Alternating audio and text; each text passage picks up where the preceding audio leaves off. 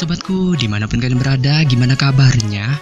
Semoga kalian dan keluarga dalam keadaan baik-baik saja ya. Kali ini, kita akan membahas Dongwa Jet Dynasty episode 12 yang tayang hari Selasa ini. Perlu diingat, ini hanya sekedar bocoran spoiler yang episodenya rilis tanggal 6 Oktober 2022. Jadi, jika narasi dan video berbeda, mohon dimaklumi ya. Untuk kalian yang penasaran tentang cerita Jet Dynasty episode 12 ini yang tayang satu minggu sekali Oke langsung aja kita ke ceritanya Gas! Pada ending episode 11 sebelumnya, kita diperlihatkan bahwa Quantum Sueki melawan pohon iblis. Yang mana dengan kondisi lemah letih lunglai, Sueki berusaha dengan segenap jiwa dan raganya untuk menghabisi pohon iblis itu serta melindungi Siopan. Yang pada dasarnya hal ini sia-sia, karena dengan kondisinya seperti ini, sulit baginya untuk menghabisi atau bahkan melawan pohon iblis itu. Sehingga pada saat yang sama, ia akhirnya merasa pasrah saat terjerat akar pohon iblis itu bersama dengan Siopan. Dan pada saat dia pasrah dengan keadaan ini, Siopan perlahan terbangun dari tidurnya serta melihat Sueki yang tersakiti sehingga pada saat yang sama kemarahan melonjak di wajahnya saat dia segera memanggil tongkat saktinya serta melepas jeratan yang melilit tubuhnya dan juga Sueki yang pada dasarnya hal ini memancing kemarahan pohon iblis itu saat dia langsung menyerang Siopan.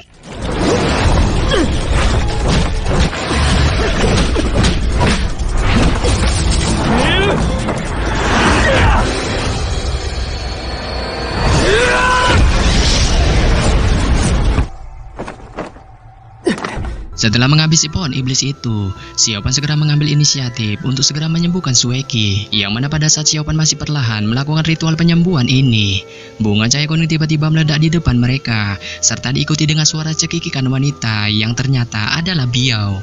Sontak ini segera mengejutkan Siopan saat ia segera menanyakan kepada Biao maksud kedatangannya ke sini, sehingga Biao yang mendengar ini menjawab, bahwa kedatangannya ke sini hanya untuk mengambil gua tetesan darah yang direbut Siopan. Meskipun demikian, Siopan sama sekali tidak tahu menahu tentang gua tetesan darah ini, yang mana pengakuan Siopan ini tidak dipercaya Biao sama sekali, serta ia merasa Siopan tampak berpura-pura tidak tahu, sehingga pada saat yang sama, ia memerintahkan Yui untuk menyerang Siopan. Namun demikian, saat mereka akan melakukan baku hantam ini, cahaya hitam perlahan muncul di depan mereka dan menunjukkan seekor ular garaga jumbo. Nah, ini dia bocoran spoilernya. Setelah kemunculan ular jumbo ini, yang ternyata adalah ular iblis kuno, Yoyi memberitahu Biao bahwa ular ini sangat mematikan, sehingga kemungkinan sulit bagi mereka untuk melawannya. Oleh sebab itu, ia mengajak Biao untuk segera pergi dari tempat ini. Meskipun demikian, Biao tampaknya mengkhawatirkan Siopan saat ia mundur beberapa langkah dan tiba-tiba berbalik untuk melihat Siopan, sehingga ini membuat Yuyi menggelengkan kepalanya dan ia menyuruh Biao untuk tidak usah memperdulikan Siopan serta dengan cepat pergi dari tempat ini. Namun lagi-lagi, perintah Yuyi ini masih membuat Biao merasa ragu.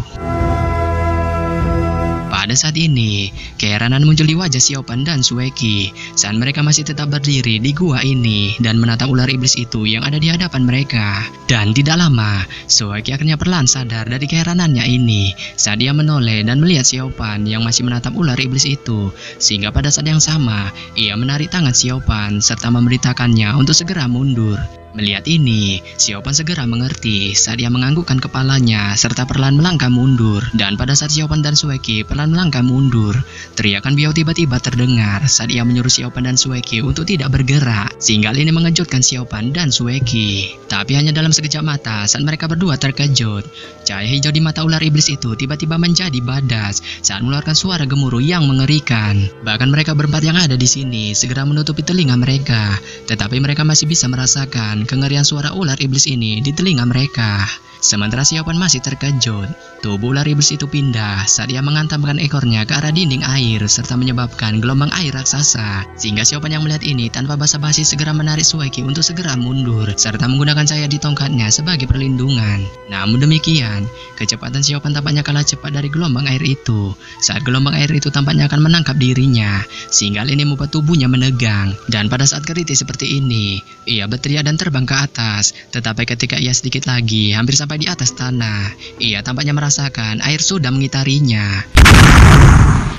Siopan akhirnya terpaksa tertarik ke dalam gelombang raksasa, sehingga tubuhnya basah kuyup. Bahkan di bawah daya sedot gelombang raksasa ini, ia merasakan tangan Sueki terlepas dari genggamannya, sehingga pada saat ini, mereka tampaknya terpisah. Sontak ini membuat Siopan terkejut, serta kepucatan muncul di wajahnya saat dia berjuang untuk sampai ke area Sueki. Namun dikarenakan kekuatan gelombang itu begitu kuat, pada saat berikutnya, mereka berdua tampaknya terpisah cukup jauh. Bahkan Sueki tidak lagi kelihatan batang hidungnya, saat dia telah menghilang dalam kegelapan. Merasakan hal ini, Tubuh Siopan bergetar, serta pikirannya berada dalam kekacauan saat tubuhnya didorong ke depan oleh gelombang raksasa.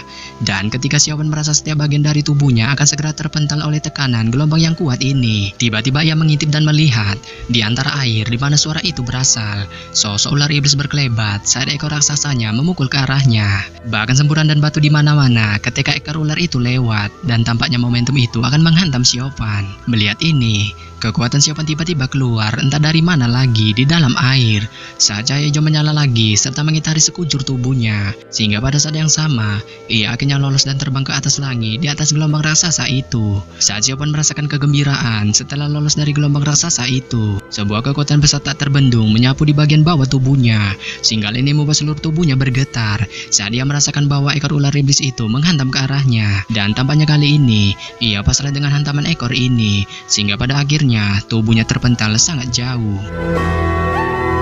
Setelah hantaman ekor ular iblis itu, Siopan dengan terbang serta kabur dari tempat ini. Tubuhnya malah berbalik ke arah ular iblis itu lagi saat dia melihat gelombang raksasa dan ekor ular itu dengan cepat menghantam ke arah Biau. Meskipun demikian, Biau dengan cepat bangkit saat kedua tangannya memberi isyarat dan pada saat ini, tangannya pelan memunculkan cahaya putih berwujud bunga mawar yang bersinar sehingga hanya dalam beberapa saat, cahaya itu berubah menjadi enam bunga yang membentuk sebuah roda putih. Setelah roda putih akhirnya terbentuk, roda itu kemudian mulai berputar cepat saat cahaya putihnya menahan gelombang raksasa itu sehingga pada kesempatan ini ini, beliau pelan mengangkat tubuhnya serta mencoba pergi dari hantaman gelombang ini. Tapi tepat pada saat dia perlahan pergi dari hantaman gelombang itu, suara gelombang itu menjadi lebih berat. Yang mana pada saat yang sama, ekor raksasa ular itu tiba-tiba menghantam roda putih Biau dengan keras, sehingga ini menyebabkan roda putih Biau langsung hancur lebur, serta tidak bisa menahan sedikit pun lagi kekuatan ekor itu. Bahkan setelah hancurnya roda putih ini, ekor ular itu tampaknya akan segera menghantam Biau. Namun demikian, saat ekor ular iblis itu akan menghantam Biau,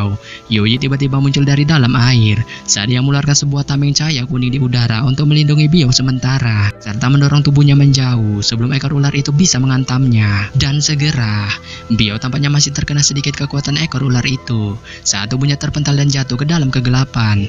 Dan pada saat berikutnya, Yui juga menghilang dalam gelombang yang dahsyat itu. Melihat kejadian ini, Siopan pelan terbang mundur saat dia mengamati ular iblis itu yang kecepatannya tampaknya pelan melambat.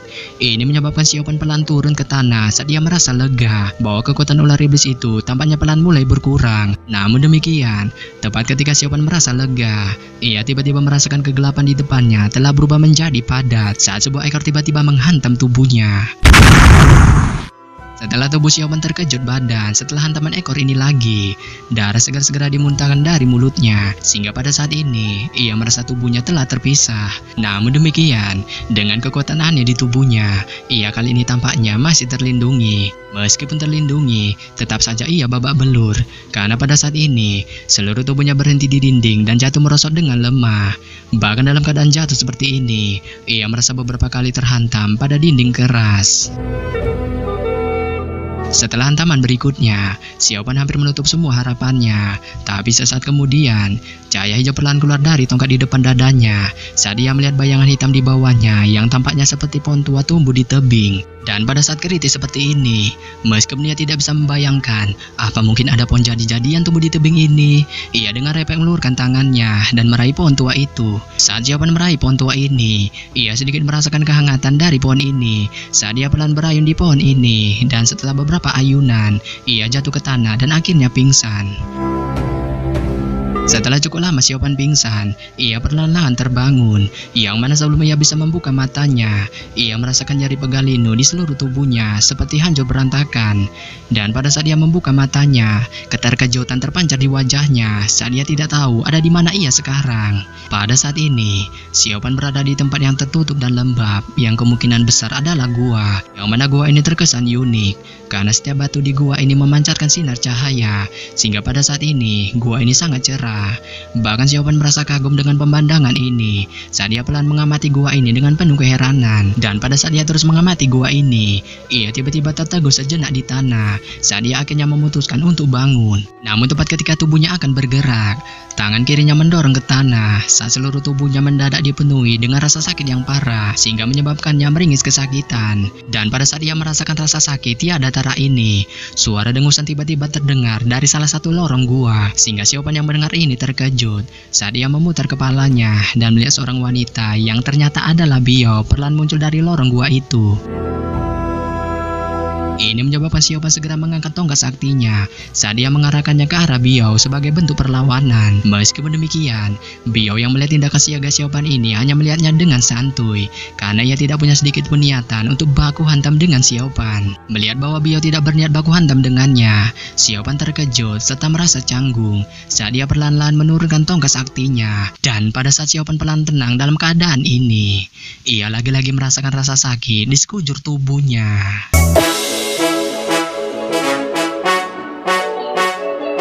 Yap, yap, yap. Sampai di sini saja saya menyampaikan bocoran spoiler Jedi Dynasty episode 12 yang tayang hari Selasa ini.